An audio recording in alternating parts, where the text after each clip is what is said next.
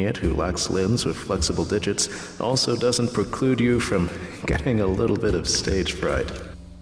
Let's remind the Mimis what a warm crowd we've got out here tonight by throwing our fins together with a little extra vigor. You can do it, Sashimi Mimis!